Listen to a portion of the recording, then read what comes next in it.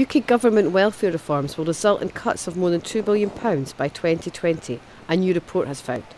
Research by Sheffield Hallam University for the Scottish Parliament's Social Security Committee shows poorest areas worst hit by the reforms which started in 2010.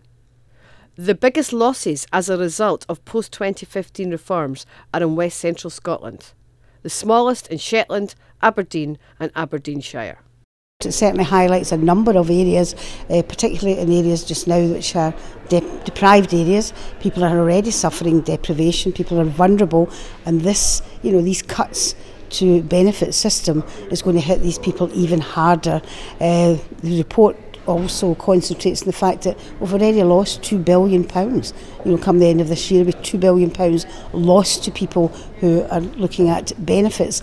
It's very hard hitting. It's very truthful, and it really should be a wake up call, not just for the Westminster government, but for all of us, that these cuts are having a real detrimental effect on people, particularly people with mental health issues. To see the report, visit our webpage and join the discussion on our social media channels.